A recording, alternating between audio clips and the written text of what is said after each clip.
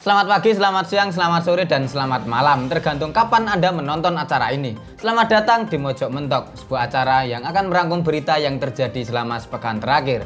Tentu saja dibawakan secara cerdas, tangkas, dan terengginas oleh saya sendiri. Agus Mulyadi Agus Mulyadi Agus Mulyadi. Sebagai host yang akan menemani Anda. Dengan tak deng tak deng deng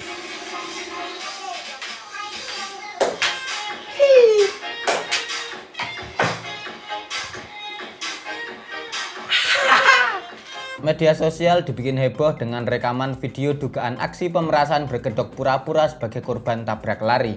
Aksi tersebut terjadi di daerah Pasar Rebo, Jakarta Timur pada Rabu 26 Januari 2022 lalu. Terduga pelaku yang berinisial AF dalam tayangan video yang direkam dari dalam mobil yang menjadi targetnya tampak membonceng seseorang untuk mengejar mobil target sambil menunjuk-nunjuk jarinya. Setelah dekat, AF pun kemudian turun dari motor dan berlari mencegat mobil tersebut. Ia kemudian berpura-pura kesakitan dan tampak memincang-mincangkan kakinya. AF pun kemudian menuduh pengendara mobil telah menabraknya. Video rekaman aksi AF tersebut kemudian viral di media sosial. Kasat Reskrim Polres Metro Jakarta Timur AKBP Ahsanul Mukofi mengatakan bahwa modus pura-pura menjadi korban tabrak lari adalah modus lama. Empat hari setelah video tersebut viral, Polres Metro Jakarta Timur akhirnya berhasil menciduk AF. Kapolres Metro Jakarta Timur Kombes Budi Santoso dalam konferensi persnya pada Minggu 30 Januari 2022 lalu menyatakan bahwa AF sudah resmi ditetapkan sebagai tersangka. Ia dijerat pasal berlapis yakni pasal 368 ayat 1 KUHP dan pasal 318 KUHP tentang perbuatan fitnah dan pemerasan. Aduh ya kasihan bener ini Mas Aif ini ya. Ini yang namanya malang tak dapat ditolak, mujur tak dapat diraih. Niat hati berlagak pincang, jadi korban tabrak lari biar dapat duit kompensasi, malah sekarang jadi calon penghuni bui. Aduh, apes betul ya ngekos di penjara ya. Lagian ya salah sendiri ya, sudah tahu uh, apa sensitivitas sinematografi masyarakat Indonesia ini sudah maju. Kok bisa-bisanya berpura-pura jadi korban tabrak lari, tapi aktingnya jelek banget kalau mau acting tuh mbok ya yang total gitu loh. Artis yang actingnya bagus aja belum tentu dapat callingan kok. Ini malah acting cuma setengah-setengah. Ya, lain kali ini saran saya ya Mas ya. Kalau mau acting jadi korban tabrak lari, belajar dulu yang bener ya. Dekati anak UKM teater gitu, belajar sama mereka gimana caranya acting, mimik muka, maksimalkan properti ya. Bikin suasana dramatis, tambahkan darah berceceran di dahi atau mulut atau lutut terserah lah ya. Kebak geteh pokoknya. Ingat ya, zaman sekarang ini acting penting banget loh. Bukan cuma buat tukang modus korban tabrak lari loh, tapi juga apa ya profesi yang lain tuh acting tuh butuh, sangat-sangat penting. Pejabat itu kalau lagi cari suara ya, dia juga harus bisa acting jadi rakyat biasa. Pengusaha kaya yang berbagi motivasi bisnis itu juga harus bisa acting seolah-olah ia berasal dari keluarga yang miskin. Lah ini saya dari tadi teriak, oh gas, Agus, oh gas, Agus. Ini saya juga acting pak, rumangsanya pada demi passion. Ayo ra pak, demi duit ini juga acting ini. Dengetak dong tak deng deng Pernyataan Jaksa Agung ST Burhanuddin tentang usulan agar koruptor dengan nilai korupsi di bawah 50 juta rupiah tidak perlu dipenjara menjadi bahan perbincangan yang cukup panas di media sosial. ST Burhanuddin mengatakan usulan tersebut dalam rapat bersama Komisi 3 DPR pada Kamis 27 Januari 2022 lalu. Sedangkan untuk perkara tipikor yang berkaitan dengan kerugian keuangan negara Kejaksaan Agung Agung telah memberikan himbau kepada jajaran untuk tindak pidana korupsi kerugian keuangan negara di bawah 50 juta untuk diselesaikan, diselesaikan dengan cara pengembalian kerugian keuangan negara sebagai upaya pelaksanaan proses hukum secara cepat, sederhana, dan biaya ringan. Terkait dengan pernyataan Jaksa Agung yang kemudian membuat heboh media sosial tersebut, Kapus Penkum Leonard Ebenezer Simanjuntak melalui keterangan pers kemudian memberikan penjelasan. Ia menjelaskan bahwa pernyataan Jaksa Agung terkait korupsi di bawah 50 juta tersebut sebagai respons atas pernyataan beberapa anggota Komisi 3 DPR terkait efisiensi biaya penanganan kasus korupsi dengan nilai kerugian yang kecil.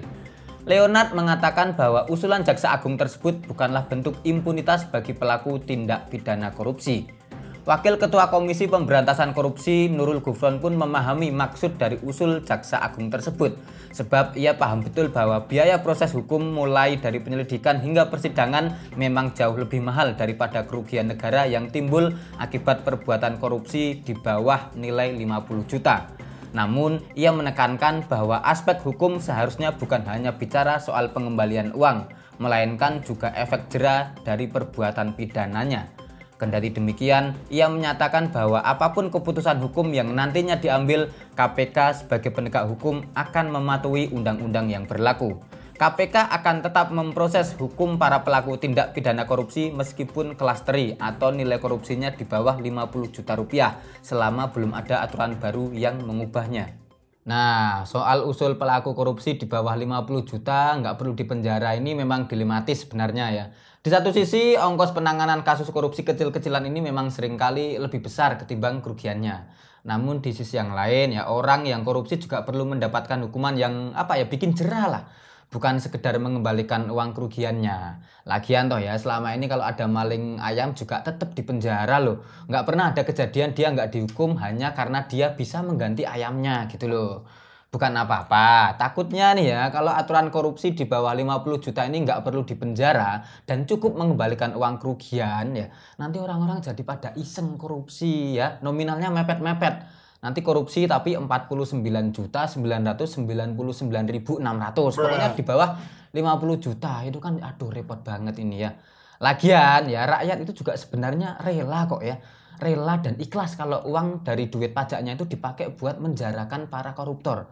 Bahkan kalau ada aturan yang menetapkan koruptor uang rakyat yang ketangkep harus ditelanjangi di penjara terus manue itu diolah sama balsem itu rakyat juga rela buat patungan beli apa bal pirik apa remason atau geliga. Ya mbok yakin pak, coba aja kalau nggak percaya. Icip kok jajal ini tak oleh si bal piring ini pak. Ini perlu dipertimbangkan ini. Dengetak deng tak deng deng Pemain muda Manchester United Mason Greenwood tengah terseret kasus kekerasan. Ia diduga melakukan tindak penganiayaan terhadap kekasihnya Harriet Robson. Kasus tersebut terungkap setelah akun Instagram Harriet Robson mengunggah video yang tengah memperlihatkan dirinya yang terluka dan menyebut bahwa hal itu akibat ulah Greenwood. Pihak kepolisian Greater Manchester pun akhirnya menangkap Greenwood dan menahan pemain 20 tahun itu untuk dilakukan pemeriksaan lebih lanjut. Akibat kasus ini, Manchester United memutuskan untuk menangguhkan Mason Greenwood dari skuad. Mason Greenwood tidak akan kembali berlatih atau memainkan pertandingan hingga pemberitaan lebih lanjut. Begitu pernyataan pihak klub dalam rilis resminya. Imbas yang lebih jauh, para pemain Manchester United pun beramai-ramai mengunfollow akun Instagram Greenwood Ronaldo, Paul Pogba, Rashford, David De Gea, Alex Telles, Jesse Lingard, Fred, Phil Jones, sampai Edison Cavani diketahui sudah tidak lagi mengikuti akun Instagram Greenwood. Oke, terkait isu kekerasan yang menimpa Mason Greenwood ini, kita telah menghadirkan narasumber yang pas untuk membicarakan isu tersebut ya. Siapa dia? Benar sekali, Mas Prayet. Jadi Mas Prayet ini adalah pemain sepak bola dari klub Mancupang United. Kita akan tanya-tanya uh, soal kasus kekerasan ini ya. Halo Mas Praid, apa kabar? Bagus. Hah? Oh sejahtera. Oke siap Mas. Ini kan ada kasus uh, apa isu skandal uh, Mason Greenwood pemain muda Manchester United yang terkena apa ya kasus kekerasan terhadap kekasihnya gitu. Nah, jenengan sebagai pemain Mancupang United yang dulu konon katanya pernah ikut eh kok pernah ikut pernah terkena kasus seperti ini juga ya? Pemukulan terhadap kekasih. Uh -huh. Ya, Oke, ya. Itu gimana pendapat panjenengan? Uh, pengalaman panjenengan dulu sebagai seorang pelaku kekerasan. Bajingan pelaku ya. Hmm?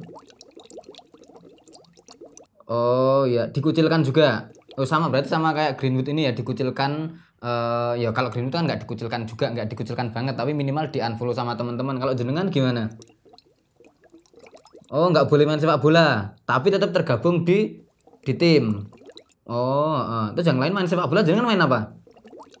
Oh, disuruh main halma. Oh, kasihan banget ya. Tapi memang seperti itu konsekuensi seorang pelaku kekerasan, Pak. Uh -uh. Kan kalau gabung di keluarga saya atau di tim saya juga tak suruh main halma sebenarnya. Terus uh, sedih nggak menjadi uh, apa dikucilkan sama teman-teman gitu? Ya? Oh, uh, sedih pol. Pengen menyendiri dan pengen Lah ini wis katanya sudah tobat. Mm-mm. Oh, sudah sholat tobat dan sekarang sedang berusaha untuk memperbaiki perilaku dan sikap. Oke, ah. selain itu sering baca buku PMP. Oh, mantap. Jadi memang sudah banyak ya yang dilakukan panjenengan ya. Walaupun publik sepak bola di negara kesatuan untuk akuarium masih tetap mengingat sosok Mas Prayit Cupang ini sebagai seorang pelaku kekerasan ya. Mm-mm. Oke siap. Mm-mm. Tetap tabah ya mas.